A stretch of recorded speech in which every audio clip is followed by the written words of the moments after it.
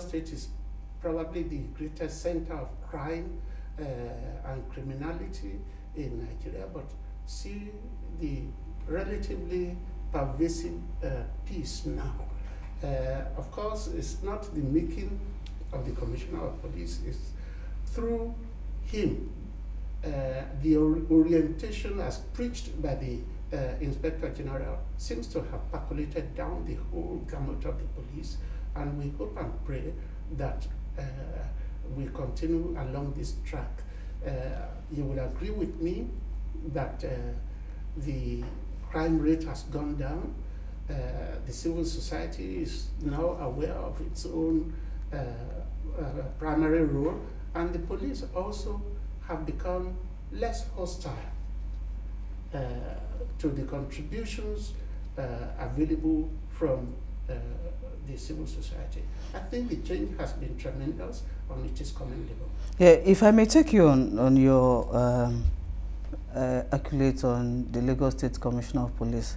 You have your colleagues, if I am right, um, the human rights group, um, the NLC, that called for his head recently over the crisis of uh, the petroleum hike.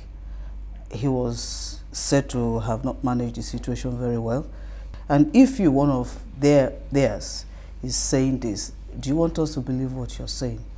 Uh, I think uh, it is believable. Uh, first, you cannot please all the people all the time. The Commissioner of Police Lagos State is a human being, he's not a god. Uh, and he has a duty to do. Uh, but we, uh, I personally think he's doing his duty with a human face. In some areas, he may have one or two criticisms, uh, criticisms to make, but Grant, please give him a break as a human being. Uh, it's true that we, we tend to criticize. Uh, there is a popular uh, saying in uh, Yoruba, which I will try. If, if you want five trousers, uh, you ask for ten.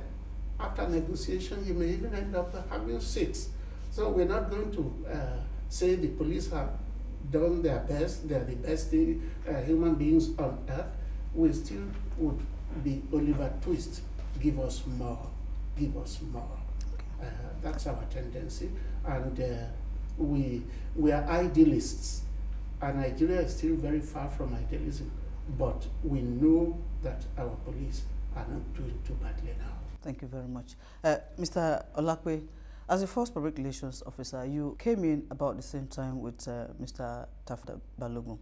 And of course, you came up with this eight-point strategy. How successful has this been in the last one year? Well, I will not uh, want to assess because it will be self-adulation to say that um, the eight-point strategy has been uh, very effective and um, has yielded positive results. But I thank God that um, I'm witnessing um, a pro prominent son of this country, a social critic for that matter, saying the police is doing well. The eight-point program, which was introduced as a roadmap to police in Nigeria, was the brainchild of the Inspector General of Police, Tafa Balogun, to give an assessment of policing Nigeria for the first time in the history of this country. It is a barometer to measure what, how effective we are performing. This time it's not uh, just policing blindly, but policing with um, some uh, dictum or some dictates of what we are to achieve, where we are going, and how we are going about it. So we have policing now with empirical philosophy.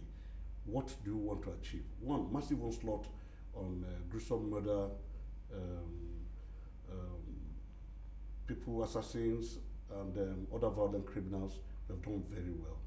Um, you will recall that uh, prominent Nigerians who were killed uh, sometime last year before elections. We want to recall the Harry Marshall saga, how we went into it within three months. We were able to get the authors of crime. Yeah, but if, if I may put it to you, Mr. Lakwe, now that we're here, people still believe that the Harry Marshall killers were not arrested. And they have this, um, school of thought says, the normal cliche attached to police that perhaps the police went after some hoodlums purporting these people to to be the actual killers of Harry Marshall. What's your comment Don't about forget that? that as a doctor just said now, Nigerians are idealists. to be an idealist, you must um, have um, a very intelligent uh, community of persons who are erudite, who are seasoned, who have um, some modicum of intellect to assess situation. It is not easy to go out and bring human beings to say what they did not do in this uh, democratic dispensation. Well, military dispensation, well, you can say force of arms and so on. But in these times of uh, human rights activism, where people now know their rights and people are claiming their rights as a duty of government to ensure that their rights are protected, uh, it's not possible to do that kind of thing now. We can't manage human beings to come up to say they are claiming authorship of murder when you know that it's a capital punishment. We went into it, we collected information from people, intelligence from people, then we now went into um, serious brainstorming whereby we were able to get the hideout of these criminals through the assistance of fellow Nigerians. So I want to say this moment that Nigerians are really now cooperating more than ever before with the police. So we got cooperation from the public and we were able to feed them out and we paraded them and they made confessional statements to very capital offenses of murder and armed robbery. So I want to reassure Nigerians that that is the truth and they should support us as we fight in the crusade of making Nigeria a safer haven for industrialization. Thank you very much. Doctor, do you agree with him? Do you think the eight-point strategy of uh, Tafa Balogun is a success in your own view? Uh, well, if, the, uh, if there has been a change for the better in the system, then his uh, effort has been a success. Uh, it, it, stands to reason that his effort uh, has succeeded. Okay. Uh, you founded Oodua People's Congress, and uh, of course, Oodua People's Congress seemed to be doing the same thing that the police force is meant to do constitutionally. What informed that? No, uh, the OPC is not doing what the police is supposed to do. The police have the constitutional right to maintain and sustain law and order, but it is the vocation, it's their, it's their profession but it is the vocation of every good citizen to sustain and keep law and order. So if the police find that uh, their effort is not yielding their desired effect, why can't the civil society assist the police? So we're not doing, we, we are not constitutionally uh, empowered to sustain law or keep law and order. It's the police that have that constitutional power. But there is nothing wrong in civil society uh, complementing the effort of the police. Uh, there is no successful police system anywhere in the world without contribution by the people. Okay. So your your effort, your coming up with Odua People's Congress is to assist the police. To complement the effort, effort of the police. police. You know that, that uh, when uh, the OPC came to be, uh, Nigeria was virtually being taken over by crimes and criminals. And the police were overpowered, they were overstretched, they were underpaid, they had no motivation, and uh, we know why they, they, they couldn't do the work as much as Nigerian people would expect them to do it. And we couldn't criticize them openly if you criticized them. But you had a running battle with them. Because they misunderstood our role. Yeah. They misunderstood our role. They, thought, they thought we were coming in to take over their, uh, their, uh, their constitutional role.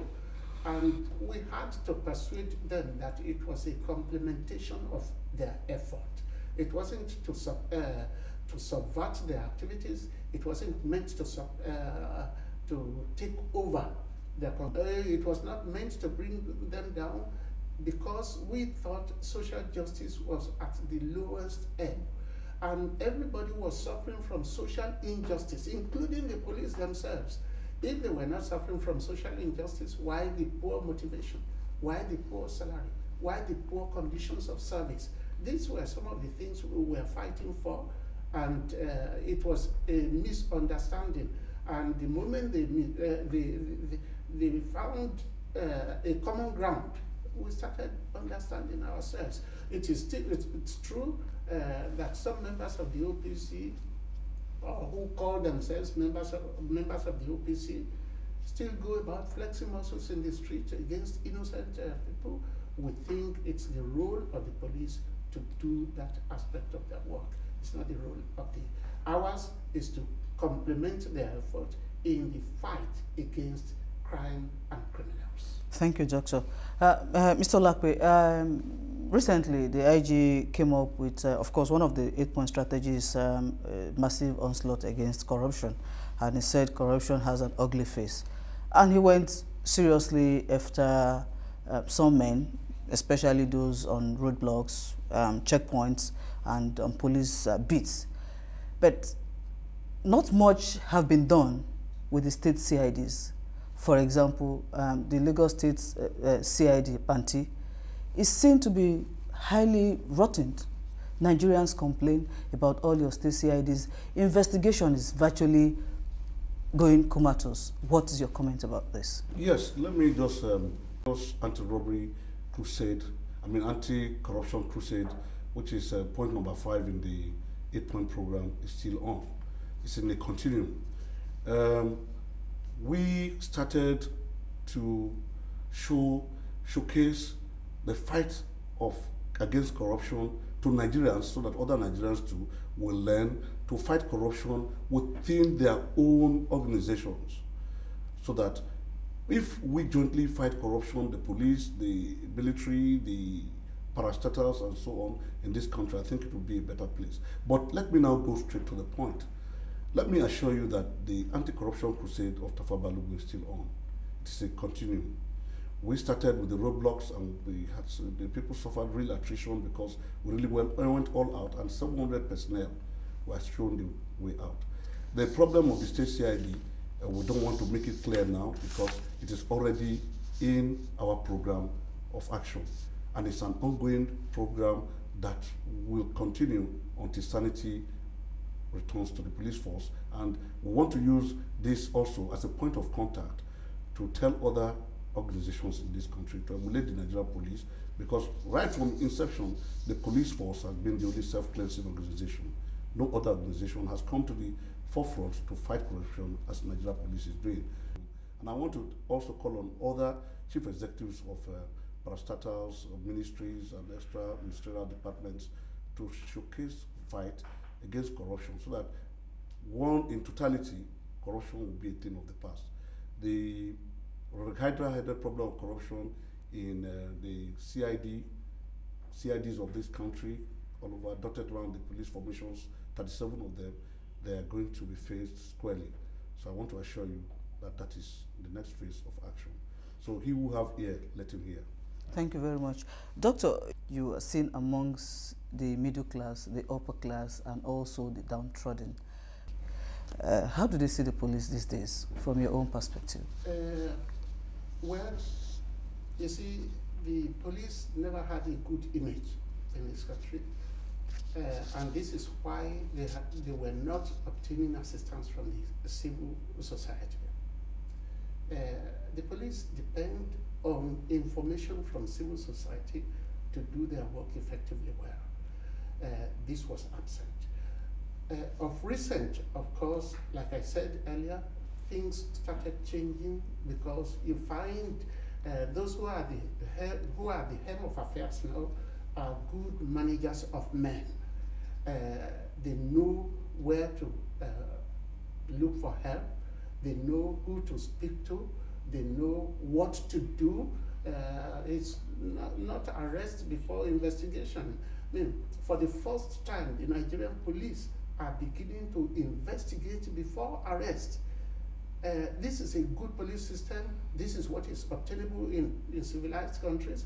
But in the past here, uh, at the least suspicion, you would arrest uh, a suspect, uh, a perceived uh, uh, suspect and he might not have committed the crime for which he's, uh, he, he was being uh, arrested. You would arrest him, investigate him. If you later found out that he didn't commit that offense, he even still had to bail himself out, paying some money to the police. But now, with the, uh, with the Nigerian people uh, not not condoning uh, corruption. Uh, the uh, Do, do you think people are beginning to fight back when they ask them to pay uh, bribe or they ask them to pay for bail? Do you think they're beginning to fight back because you receive complaints, you you interact with members of the public? Yes, uh, now people spend uh, weeks in detention for not paying. Uh, uh, things we hope will change. Uh, I don't believe that Nigeria has started fighting corruption. If anything, it's corruption that is fighting Nigeria. Nigerians are not fighting corruption yet, but the police have started well, doing looking inwards to do self cleansing. If other uh, uh, other organs of the society, like the customs, the immigration, and so on and so forth, look inwards, maybe we'll, we'll have a better society. We'll have a, a bigger fight against corruption. But the government also, or the police, uh, must also uh, look into the civil society for assistance in the fight against corruption. Uh, those who fight against corruption don't necessarily have to be in uniform. Let there be some civilians who are empowered when they see corruption to face it and report to the police. Why, uh, I mean, if you see a policeman uh, taking 20 naira from a driver, why shouldn't somebody be in that bus who will say, This is my ID card? Doc- you are, d- doctor, doctor, let me take you up there. The constitution says every Nigerian has a right to arrest and hand over to police force. i- i- Do you in, need in a civilized Yes. Do you need do, do you need another do you need another uh, pass another ID card to say to you this man is corrupt, is extorting, get him arrested, hand him over to the police force. Do you need another identity card to do we, that? We do, we do. Uh, I'm not saying every, not every Nigerian uh, uh, realizes that uh, he or she has the power to arrest an antisocial element. Yeah. Not every Nigerian knows that. As a matter of fact, the moment you see uh, the policeman, it doesn't matter how much crime he is committing, uh, you tend to get frightened and you run away, condoning that evil. But if you have been empowered as a civilian, carrying uh, an identity card signed by the Inspector General of Police that you are empowered to accost somebody who is committing a crime against the society. Uh, I'm not saying everybody in the society should be carrying this, but you could have a hundred, a, a thousand of them. People, uh, why are you making use of people? Why are you not making use of people like uh, uh, Professor Soyinka? If he is going about uh, moving from Lagos to, uh, uh, to Abeokuta, and he finds that some policemen are extorting money. I, I, I do a lot of traveling, and I see policemen still taking their tw- regular 20 naira. Never mind uh, what uh, uh, is being done to many of them, right? But uh, there must be a solution to the root of this problem. So what will be what do you think in your own opinion should be the solution to the root The, problem? sol- the solution is social justice. Now, are the police being paid enough? Have they been well motivated? All right. What is their What is their insurance scheme? How much do they get for losing their lives? All right. Uh, in the past, it's only teachers whose reward is in heaven. All right. Now we are beginning to say, uh, police, your reward too is in heaven. But what about the reward of their wives? What about the reward of their children?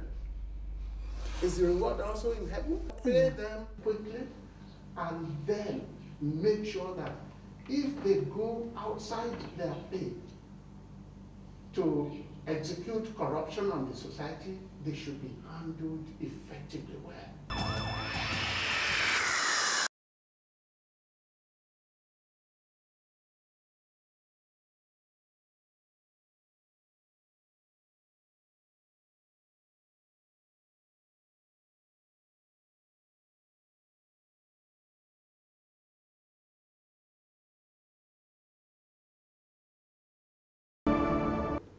I know I'm not scheduled to read the news this week, but I just couldn't help coming here to seize this opportunity on behalf of the police newscasting team to congratulate the Inspector General of Police, Mr. Tafa Balogun, on his investiture as Commander of the Federal Republic, CFR, by the President and Commander-in-Chief of the Federal Republic of Nigeria, Chief Olusegun Obasanjo.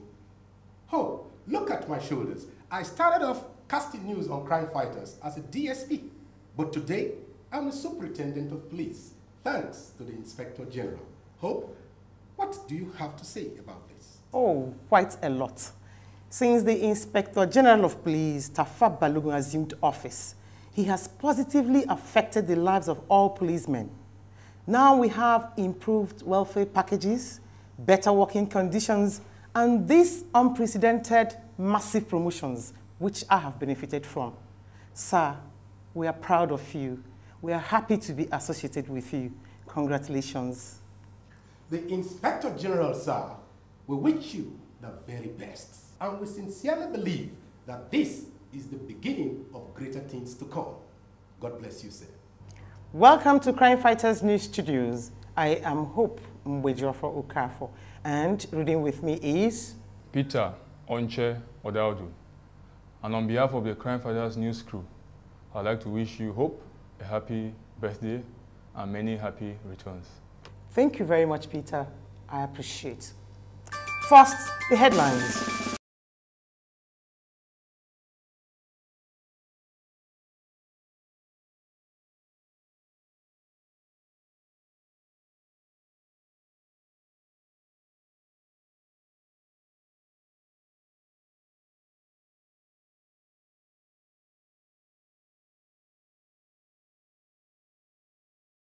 Welcome back. The Nigeria Police Force says it has concluded investigations into the criminal activities of the trans-border crime kingpin, Hamani Tidjani. At a World Press Conference held recently at the Force Headquarters, Abuja, the Inspector General of Police, Tafa Balogun, says a 204-count charge have been leveled against Hamani Tidjani. At the end of our investigation, we have been able to identify a total of 204 counts.